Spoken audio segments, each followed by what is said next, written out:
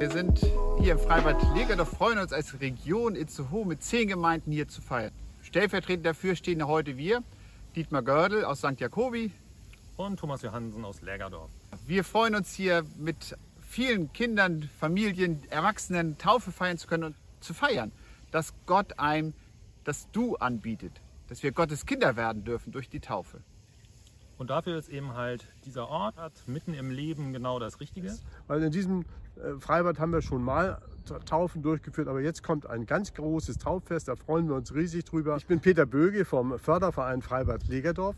Seit 17 Jahren betreiben wir hier als Förderverein mit der Gemeinde Legerdorf zusammen dieses Freibad. Wir erwarten natürlich 10 bis 20 Familien, die hier äh, ankommen und äh, gern sponsern wir für die Familien für dieses Jahr eine Saisonkarte, Familienkarte für die Familien, die sich hier taufen lassen.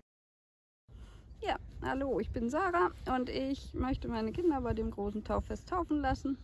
Das einmal ist Jesse hier, der wird dann ein Jahr alt den Tag danach und dann noch sein großer Bruder, der ist vier, der heißt Johannes. Ja, und wir sind schon ganz gespannt auf das Fest.